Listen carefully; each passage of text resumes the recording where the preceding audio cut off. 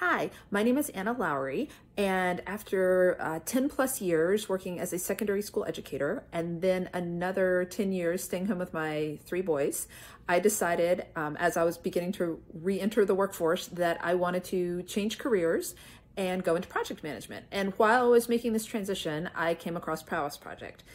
And they were absolutely instrumental in helping me figure out what transferable skills and experiences I could take from my former career into my new career.